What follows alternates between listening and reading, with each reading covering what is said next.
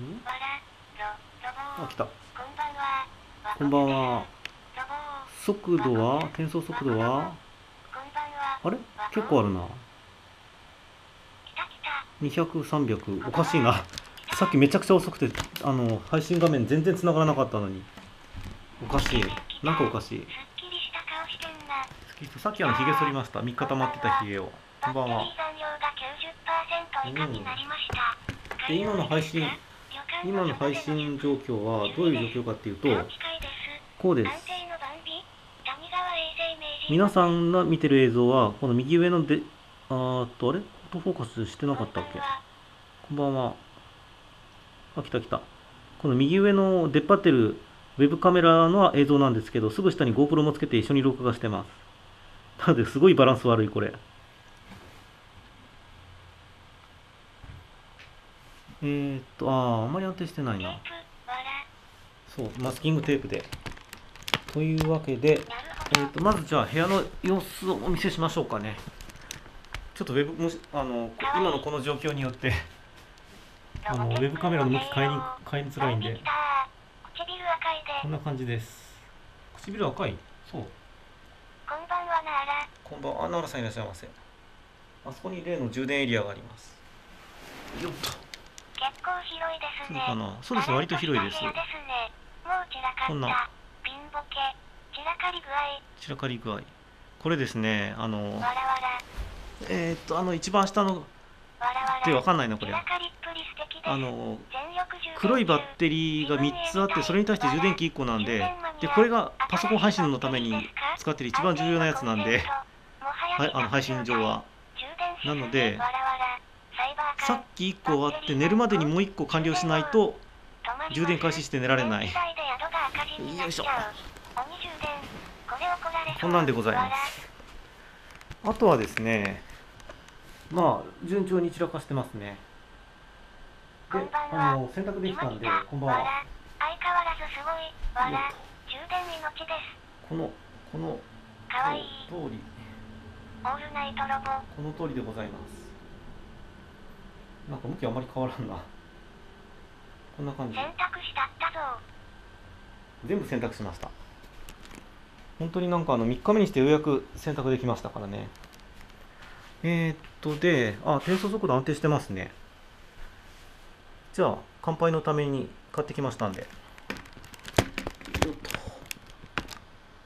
17時ぶりです。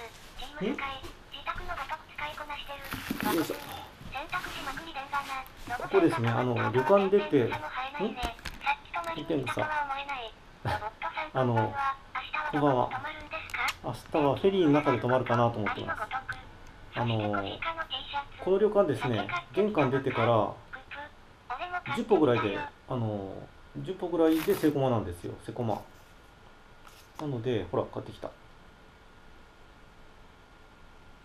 とピント合ったかな？乾かなかったらやばいんですよ。あそうそうかな。でおいらっしゃいませ。今回そうですね。今日のうに丼もなかなかいい感じだった。あ T シャツこれいつものやつですよ。80km だけどもまあそれなりに時間かかりますからね。しかも追い風でガラナチューハイ、まあ、悩んだんですけどね。でも私果物系の方が好きなんで。明日フェリーなんですけどね。9時のやつに乗るか0時近くのやつに乗るかで迷ってます。あとその辺りだと雨になってるっぽい苫小苫小牧は。まあとりあえず乾杯ですかね。よっと。えー、っとこうか。このぐらいの角度かな。こうか。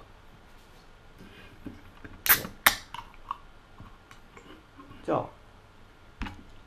乾杯ああもうすでにパインのいい匂いがしてる。乾杯。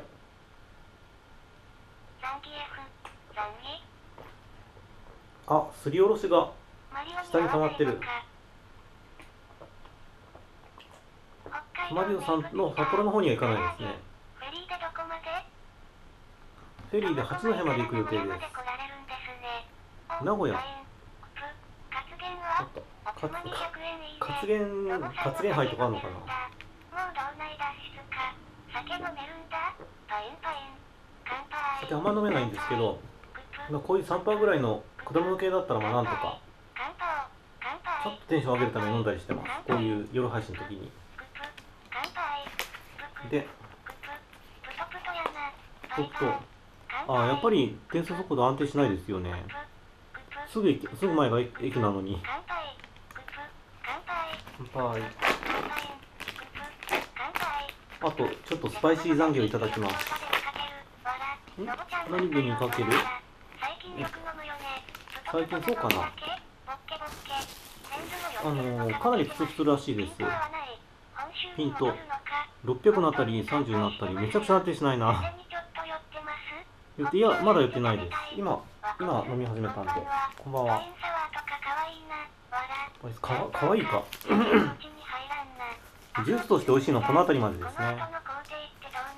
この後明日苫小牧まで105キロぐらい。よっと外はそれなりに それなりに寒いですよ。ちょっと一口もらっていただいてから。ホッケホッケは今回食べてないな。ん？ミートホープってなんだっけ？あの話題になったなんだっけ？ミートホープって。まあいいや。あまりいいわに話題じゃなかったと思う。ああ違うか。いただきます。こんばんは。こんばんは。お疲れです。こんばんは。お昼ご飯の写真、ツイッターにありますか、あお昼ご飯ツイートしてないですね。割としてないな。海なのに、可愛くはないだろ、わら。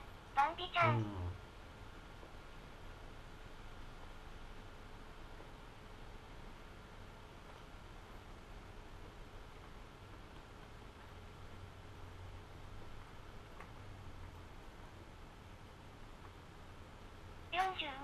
ガラナのお酒はないのか？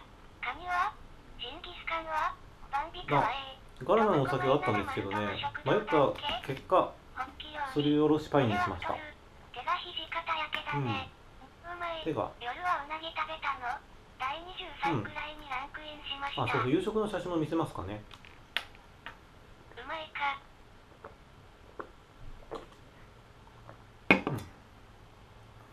寝た味わいなか。目を閉じてく。寝る。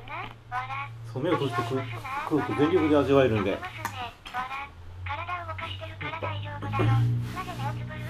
もう酔った。いい顔、わら。目を閉じて食べるのも。目を閉じて可愛いだろ誰が見ても。咀嚼しすぎ、わら。もう酔ったのか。おじいちゃん。はい100円おつまみでここまで引っ張る。夕食そう100円おつまみなんですよね。ピント合わないわこんばんは。明日とまこまいつけるの明日とまこまいわかんないんですよね。ピント合わない？あったかな？明日早く出たいんですけどね。いろいろ考えなきゃいけないことあって。これピント合ってるかな？合ってなくないか？合ってなくない？ピンと仕事しろ。うーんあ来たっぽいな。えーとですね真ん中がボラの刺身で右下がうなぎ。左上が肉じゃが的な感じのやつで上が鮭のハラスみたいなやつのと白菜の鍋。あとどうだろう。あと何が？あ手前が白菜の漬物かな。まあこんなもんですかね。ピントめちゃくちゃ遅いな。やっぱウェブカメラ死にかけてる。孤独の。でこれがこれがボラの刺身。このなんかこれで5500円のはずです。実はですねこの宿ついてあの電話してた吉川ですって言ったらあれ吉田さんじゃないんですか？って言われてなぜか吉川が吉田になっててであとその後部屋はここですって言われてで食事はこちらに用意してありますって言ってそれしか言ってないんですよ。宿の人すぐ引っ込んじゃったんであの私は名前と電話番号以外の情報を一切与えておりません。ボラって美味しいの安いなボラ鍋うまそう安う女の子と行くとで楽しいよ女のことで川浩二さんこいつがあのうなぎ。あのええ？ん？ついてるのみょうが？ついてるのみょうがです。ああ。切れた。今見えました？切れた。すごいタイミングで切れたな。吉田さんあの私は間違いなく吉川って言ったんですけど吉川が吉田になるってどういうこと？確かに吉川って漢字を書いて横に3文字あの3本線入れるとき吉田だけど。あと夕食のなんか謎コロッケ見せたかったのに謎コロッケ。ちょっと向こうであの充電させてくるんでちょっとお待ちを。昔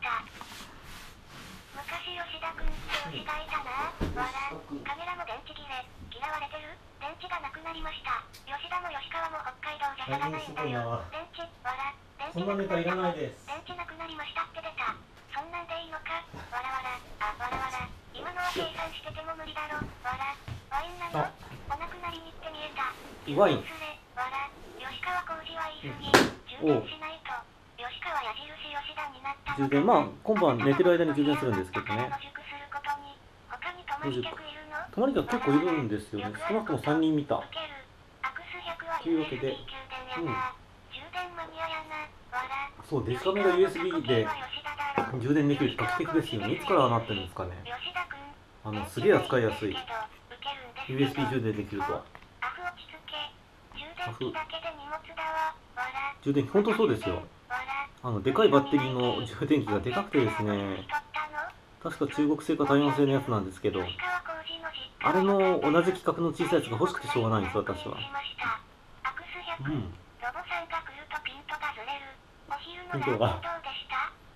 んお昼のラーメンあ美味しかったですよ。コーヒーが来ると思って動揺したんですよ。私塩ラーメンとか鶏鶏で鶏ガラ系ラーメン好きなんで。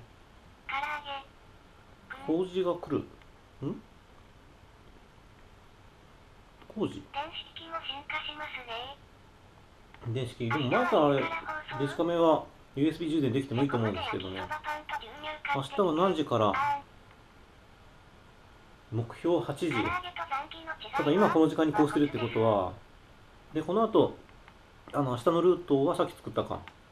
えーとあと考えなきゃいけないことは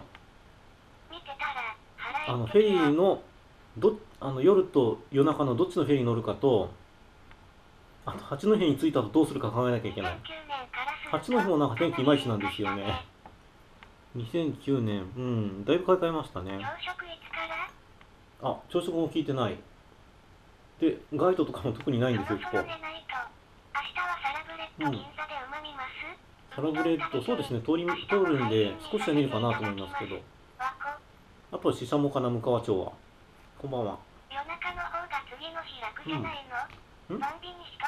夜中の方が考えずに無心で走れあその朝何時着くかですよね。早い方の便で行ったら朝4時。次は朝着くのかしら4時か5時ぐらいに八戸着いてでで夜中の便だったら朝7時過ぎ着くんですよ。7時か8時ぐらいかな。うですか？十和田湖方面考えてます。それを考えてあの八戸に渡ろうと思ったんですよ。ただ八戸から十和田湖って何キロあるかすらまだ調べてない。でこのこの部屋というかあの三石駅の目の前なんですけど三鷹三石駅の。今一つ電波良くないここ。着いたらまずイカか。馬刺しは食べてないですね。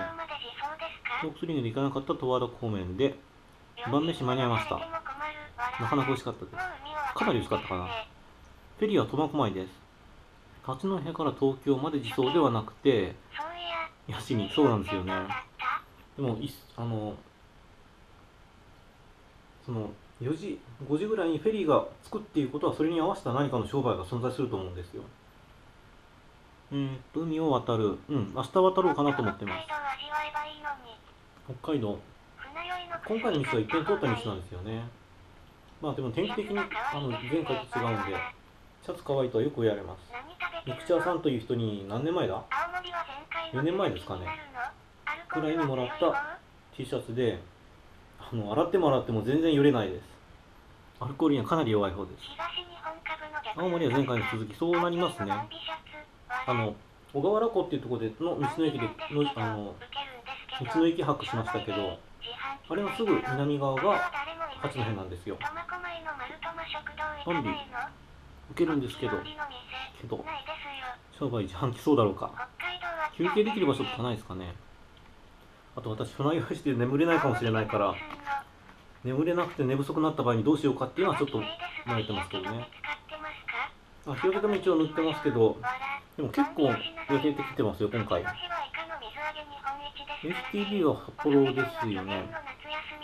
ナビ足長いんです。そういうデザインですこれ。イカの水揚げへえ初の知らなかった。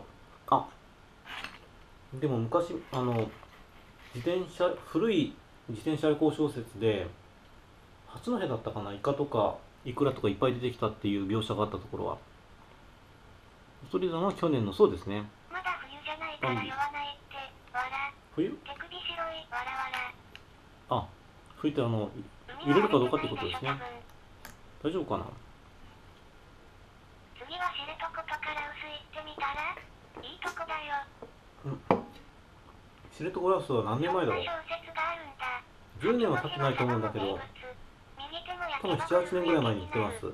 知床ウトロラウス。えっ、とゴムボートあの宿のゴムボートツアーで、えー知床岬方面に行って途中の番屋であの丘に上がってでヒグマが目の前までやってきた。えっ、と沢もあ小説はですね男たちは北へってやってあの飲酒飲酒運転とか平気でやってます。その頃まだ飲酒自転車の飲酒運転がそもそも犯罪とみなされてなかった時代ですね。本当には時代によって解釈が違うだけだと思うんですよね。ああ流れた流れた。登別は通過しただけだから確かに温泉とか熊牧場別にいいかな。と思ってるんで。うーんとあ石子にはウニでしたよね。八戸はイカ有名私も知らなかったです。あそろそろデジカメ使えるかな。すでに行ってないところがないレベルだな。いやいや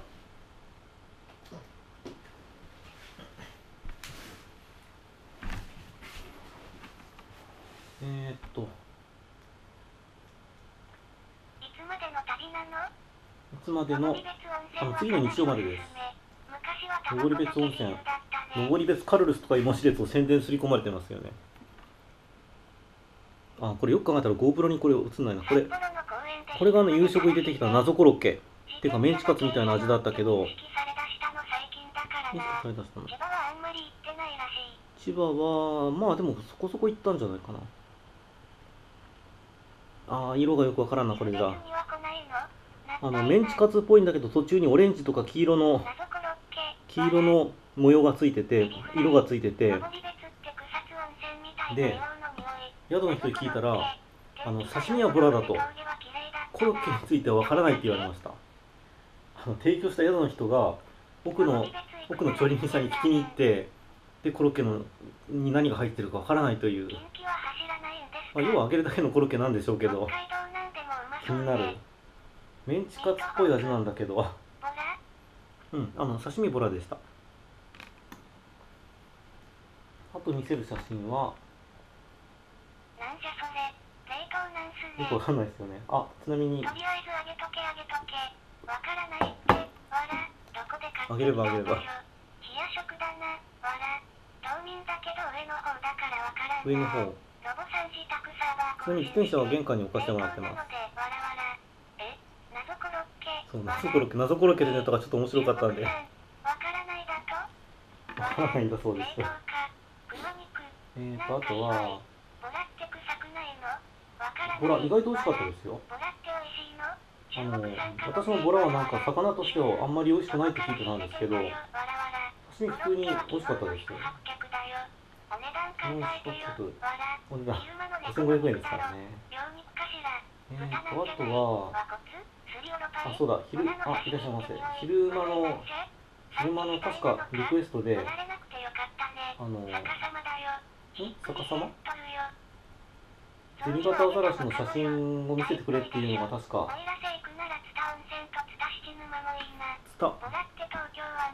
ツタか。ちょっと顔が熱くなってきた。ツタですか？筋トレで売ってくださいジャリスかわ何で売ると待ってくださいね。えっ、とアザラシの写真がなかなか出てこない。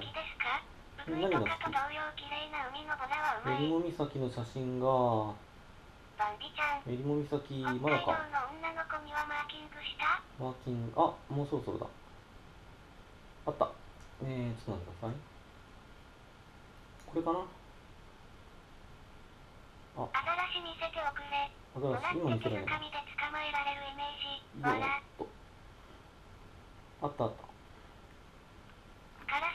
これです。デジタルズームならあんまり綺麗な映像じゃない。あー画像じゃないですけど。ほらこの頭テカテカわかりますよね。今日の入りも岬ではアザラシ2頭だけ見えました。ん？どこに？土地土地に。港港に。エリモエリモ岬のアザラシです。銭形アザラシ。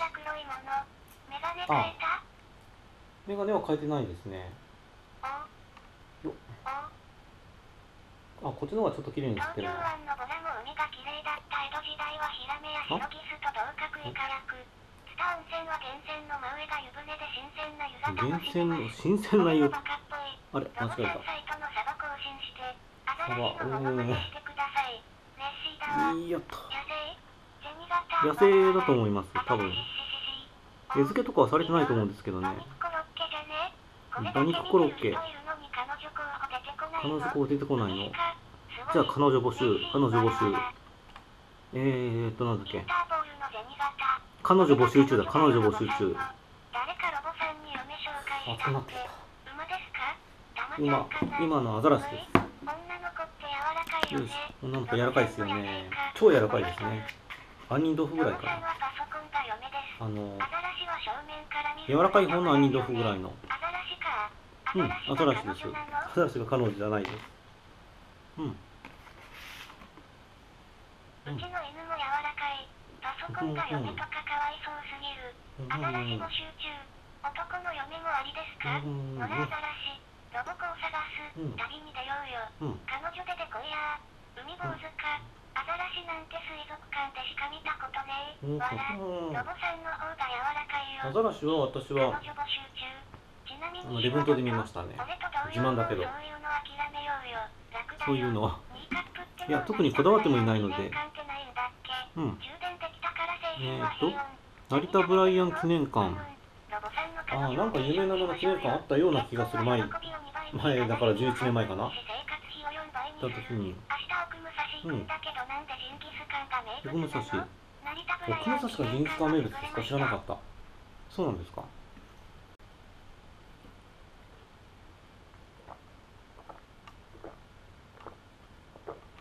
夫婦でツーリングしてほしいロボさんなら夢と趣味なら趣味をラブだろうん。あとなんか見せるネタありましたっけ？大体義経つながりだよは明日北海道八戸まで。違う違う違う。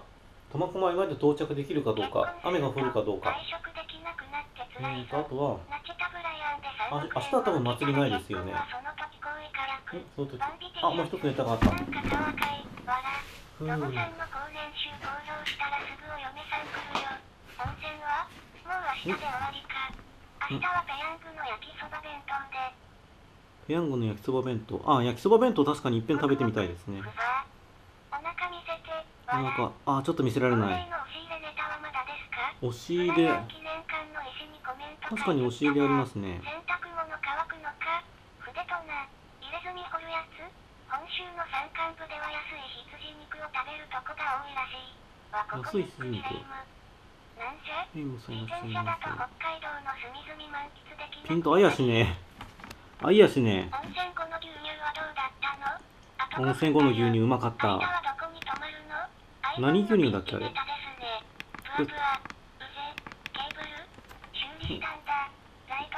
修理じゃなくてビニールテープ巻いてるだけですあの皮膚が破れて充電できなくなりそうなんで。半沢見てない。半沢がなぜそんなに流行ってるのか。GoPro の人もほらこう。で GoPro はこれフォーカスないからな。私は1年以上持ったんですけどね。えーとあと4分か。ちょっと酒がこぼれないように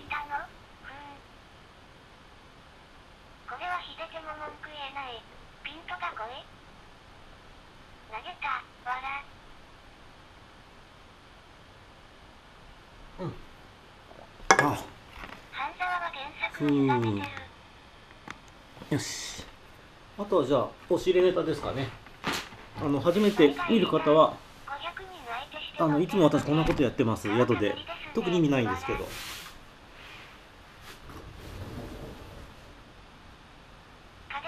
暇ないな。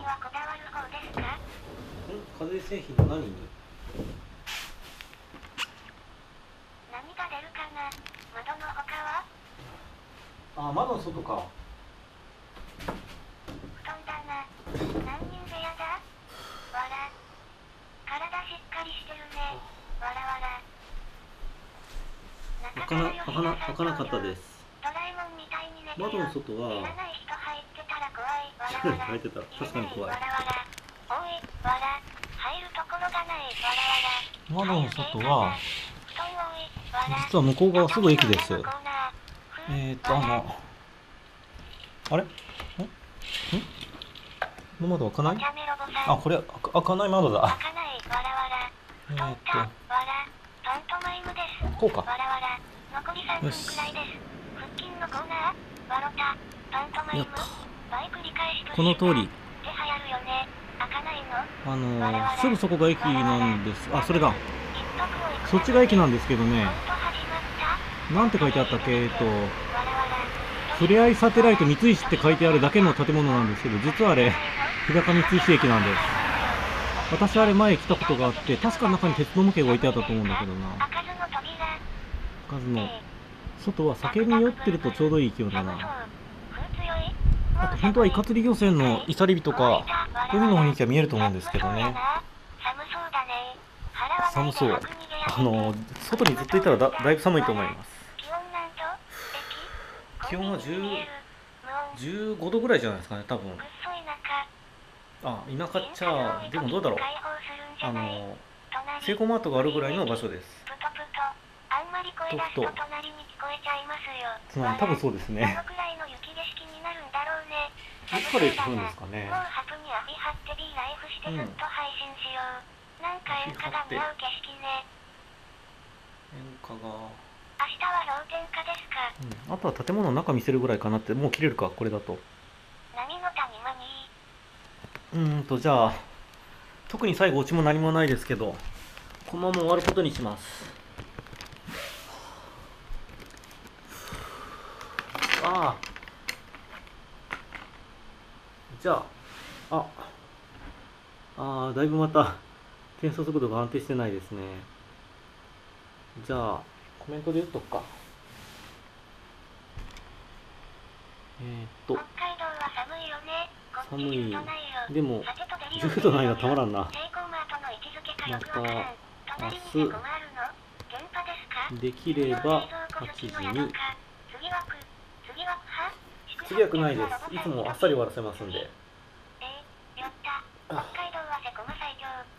セコマ最強。ですね今だいぶカロリー取ったな。